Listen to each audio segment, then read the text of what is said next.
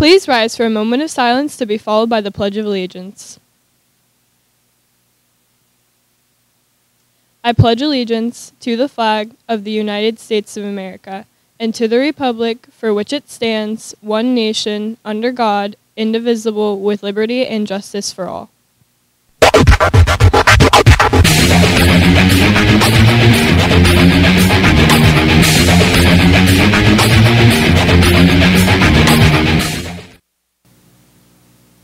Good morning, BHS. I'm Emily. And I'm Addie, and, welcome, welcome to Bash Bash TV. Today is Friday, January 6th, making today official 77th day of school and day one of the cycle. The SATs will be given here at BHS on the following dates March 11th with the registration deadline February 10th, June 3rd with the registration deadline of May 4th. SAT registration must be completed online at collegeboard.org. The Keystone Literature exam will be given on Monday, January 9th and Tuesday, January 10th, periods 1 to 3. Students who drive a vehicle to school, you are reminded that you must purchase a parking tag to park in the student parking lot. Stop in the front office for a tag.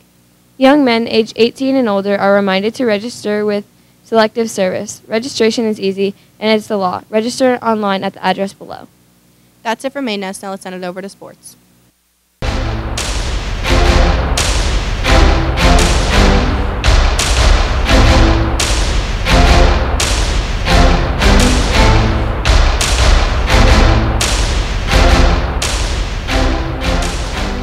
Thanks, Addie and Emily. I'm Sean, and welcome to sports. Tonight in sports, boys varsity basketball is home with Dallas at 7:15 p.m. Boys JV basketball is home with Dallas at 6 p.m. and boys freshman basketball is home with Dallas at 4:30 p.m.